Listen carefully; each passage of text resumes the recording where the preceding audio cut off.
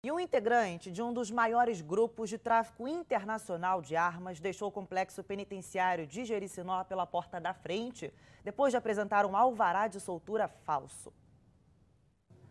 A quadrilha ganhou repercussão quando 60 fuzis foram apreendidos no Aeroporto Internacional Tom Jobim em junho de 2017. O armamento foi transportado dos Estados Unidos para o Rio de Janeiro, escondido dentro de aquecedores de piscina.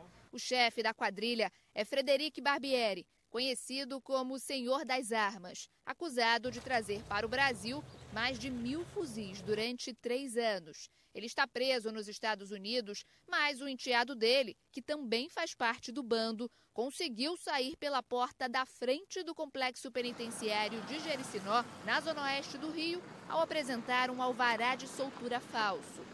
João Felipe Barbieri estava preso desde 2017 e havia sido condenado a 27 anos de prisão por associação criminosa e tráfico internacional de armas. A informação só veio à tona no fim de janeiro, quando o caso chegou ao conhecimento do desembargador Marcelo Granado, responsável pelo processo na segunda instância da Justiça Federal.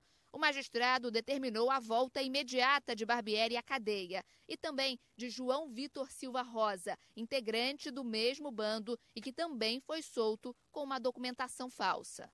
Com a fraude, a Secretaria de Administração Penitenciária vai passar a adotar um novo protocolo de dupla checagem de documentos eletrônicos. A CEAP também instaurou um procedimento interno para apurar como a fraude aconteceu. A SEAP ali naquele momento, ela não tem qualquer gerência no controle de legalidade e validade daquele documento. Quem faz isso é a Polinter, que verifica né, todos, os, todos os requisitos ali necessários para que aquele alvará seja cumprido.